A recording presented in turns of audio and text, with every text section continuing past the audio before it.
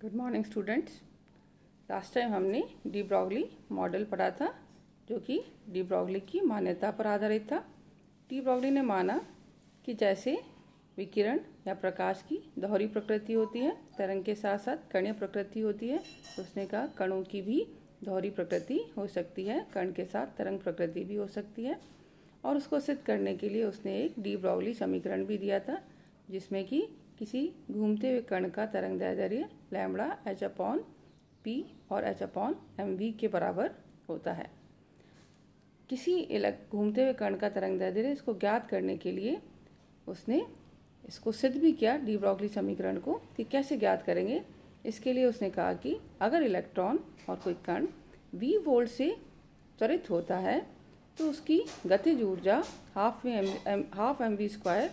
E upon V sorry half M V square is equal to E into V होगी। E e उसका charge है और we उसका volt है,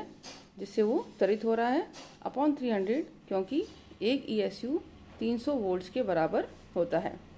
इस समीकरण से और हम समीकरण लिख सकते हैं। V square is equal to two into E V upon M upon into three hundred cancel हो जाएगा। सो ये कम, ये बराबर होगा V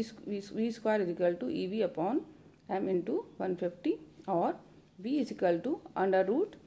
E V upon M into one fifty इस समीकरण में डी ब्रॉगली समीकरण है, उसमें v का मान वेलोसिटी वेग का मान रखने पर lambda h upon M V होगा। Lambda is to H upon M under root M into one fifty upon under root E into V और इस एम को अगर हम अंदर ले लेते हैं तो H under root M into one fifty upon under root E V M square M से एम कैंसिल हो गया। तो lambda is equal to H